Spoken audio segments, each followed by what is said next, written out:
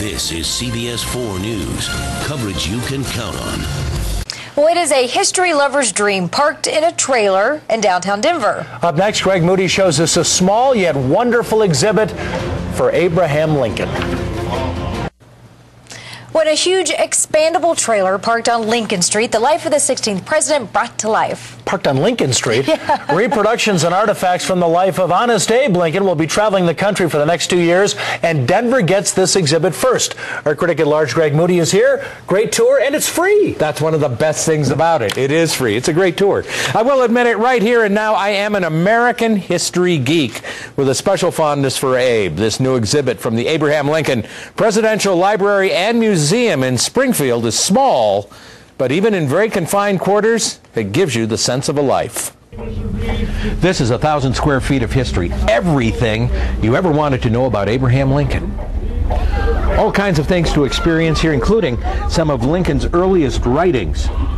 The man had great penmanship. It's also a multimedia experience. This is Lincoln's farewell address as he was leaving Springfield by train for his first term. I owe everything. We think of Lincoln as president. We don't necessarily think of him as a family man, but he was a devoted family man and experienced a lot of tragedy in his life. Almost everything here is a replica of the originals that exist in Springfield. This is a replica of Lincoln's stovepipe hat. He wore it as both a fashion statement and a place to put his papers. I talked earlier about reproductions, but these are authentic election artifacts from 1860 and 1864. Nowadays, we worship Lincoln, but you've got to remember that during the war years, in many cases, he was incredibly unpopular and often vilified, both in the South and in the North. As I said before, this is multimedia. This is an award-winning video that takes you through the Civil War, one second representing one week in time. And then, of course, the assassination.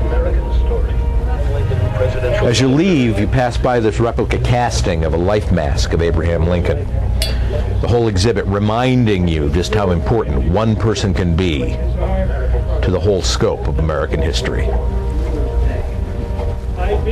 Abraham Lincoln, self-made in America, is parked in front of the Colorado History Museum, Lincoln and 13th through Sunday. It's free, open to the public, a marvelous mini exhibit of the treasures that live in Springfield, Illinois. Yeah. And it goes on tour after Sunday, but it's supposed to be coming back here for the Democratic National Convention just oh, to remind us that all this nonsense yeah. is really important. Yes, it is. I guess they could have parked on Broadway, but Lincoln's better. Yeah. Yes, indeed. Thanks, Greg. We'll sure. be right back.